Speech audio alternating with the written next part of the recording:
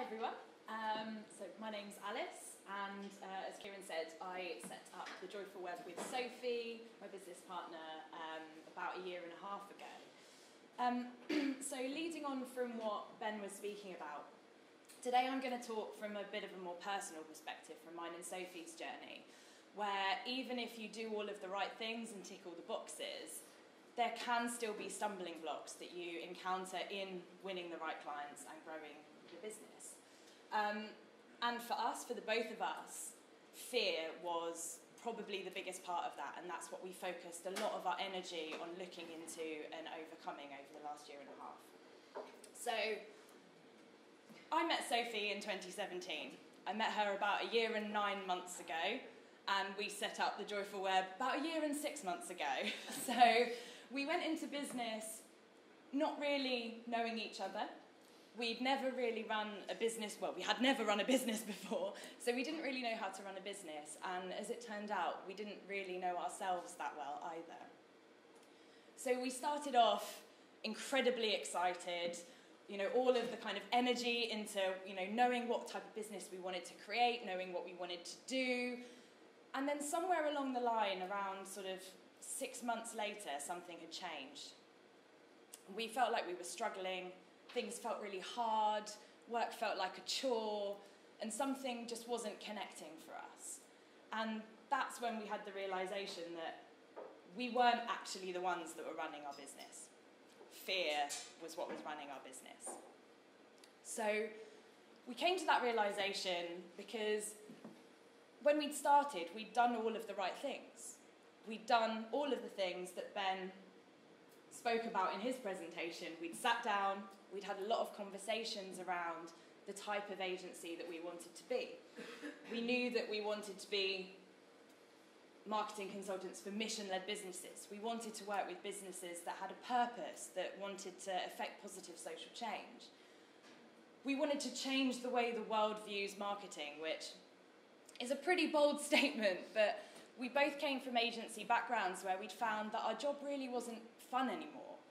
And we really truly believed that marketing could and should be fun and shouldn't be a chore and shouldn't be boring and shouldn't be scary. And that was something that we wanted to get across with our business. And we knew what our values were. We knew that we wanted to be creative. We knew that we wanted to stand for authenticity in everything we did. And we knew that we wanted to be daring and we wanted to take the kind of risks that we weren't really allowed to do when we were working for larger organisations. So, what was it that went wrong? It turns out that fear is actually the worst boss ever. Think of every bad boss you've ever had. Fear is actually the worst. Because when you're operating from a space where you're making all of your decisions based on fear, you can't live from those values. You can't live from those purpose, the, the purpose that you've, um, that you've created for yourself. You can't go out and speak to people in an authentic way because all of the decisions that are being made in the background are running on, well, what if this happens? What if that happens? I have to safeguard against that. So, for us, what did having fear as our boss look like? it looked like taking on clients that were not right for us because we were really scared. This is how we felt like all the time. Um, so we were taking on clients that weren't right for us because we were worried that we weren't going to make enough money. We were undercharging because we were scared that we weren't good enough. You know, imposter syndrome was rife, and we were really worried that if we charged what we really thought that we were worth, people would be disappointed. Um, we were competing with each other because, like I said, we didn't really know each other, and we were really scared that the other one was suddenly going to turn around and look at the other one and go, oh my god, she's got no idea what she's doing. Um, so we were trying to, we, we weren't working as effectively as we could be working as a team. We weren't putting ourselves out there because we feared what would happen if we made ourselves visible. We feared attracting criticism, we feared rejection.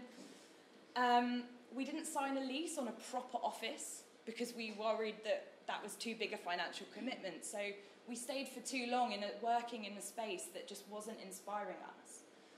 And we didn't go after what we really wanted because we feared not getting it. So, coming from that space, the message I really want to get across today is that the antidote to all of this stuff, the way that you can go out there and win the right clients, and, and I'm not standing here as someone who's you know got it all figured out, because this fear does come up again and again and again, because running your own business is scary. Um, but I found, we've both found, that the antidote to fear is courage. And what we've learned over the last year and a half is that courage is a muscle. You don't suddenly wake up one morning and decide that you're going to be brave. The same way that you don't wake up one morning and, you know, and decide that you want to start running and then go out and run a marathon. You know, you start with a mile a day and then the next week you might increase it to two miles. The same as you start making those small, brave decisions that are aligned with your values. And I absolutely love this quote. Um, I went to a conference called Wildfire Women last year, and Suzy Walker, who is the editor in chief of Psychologies magazine, was giving a, a talk about imposter syndrome, which just blew my mind. The woman who is the editor in chief of Psychologies magazine has the same fears that I have. And she said this she said, The only difference between you and that successful person you compare yourself to is that they're brave. And that, hearing that to me was like, oh my God, that's so, that's so true. And this is something that I remind myself of on an, on an almost daily basis when you know, I'm scrolling through social media and going, oh my God, everyone in the world runs a more successful business than I do, which is a, you know, a really easy thing to think. Um, and of course, being brave looks different to everyone. You know, being brave doesn't necessarily mean that you are a superhero who goes out every day ready to defend your values and your purpose to the death. Um, and so for me, being brave and having courage looks like this. And this is what I've been really working on. Having confidence in my opinions and knowledge. So, standing up here and talking to you today, I have a bit of fear about doing this. A year and a half ago, that fear would have been on another level. Trusting others. When you run your own business, if you want to grow your own business, you cannot get away with not building a team. You have to delegate, you have to trust people to support you. Trusting myself, trusting my instincts, trusting my feelings, um, that I know when something isn't right and when something is right putting myself in a position that could attract criticism. So, saying what I feel on social media, in conversation, at events like this, saying what I really think and feel, being able to say no, like Ben said, having enough confidence in our values and in our mission that we can say no when something isn't right. And then being able to walk away from that knowing that we've made the right decision. And on that note, of course, I'm not saying that fear is always bad.